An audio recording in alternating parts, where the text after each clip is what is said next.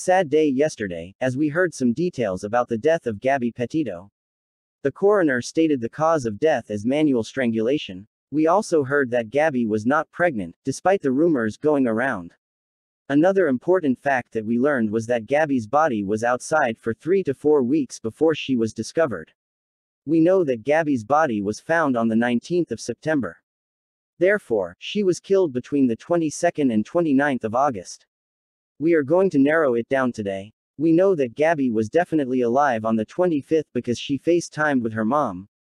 August 27th is the date I believe Gabby Petito was killed.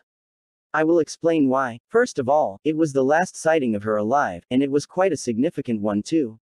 They were at Merry Piglet's, and an argument broke out between Brian and a waitress. It was reported that Gabby was very emotional and apologetic. Four hours later, travel bloggers driving through Grand Teton National Park drove past the couple's van, abandoned, on a dirt road. I believe that this was the time Gabby's body was disposed off. There have been no verified sightings after the 27th of August. Another significant thing about the 27th is that a bizarre text was sent from Gabby's phone. The text was sent to her mother. She also messaged her friend on Snapchat saying that she was headed to Yellowstone. Keep in mind that Yellowstone is two hours away from Grand Teton. I believe that this text was sent by Brian to throw everyone off.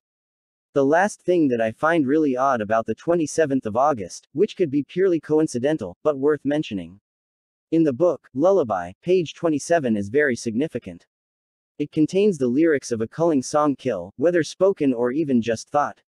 It's a lullaby sung in Africa to give a painless death. Therefore, taking the above into consideration, I firmly believe that Gabby Petito was killed on the 27th of August 2021.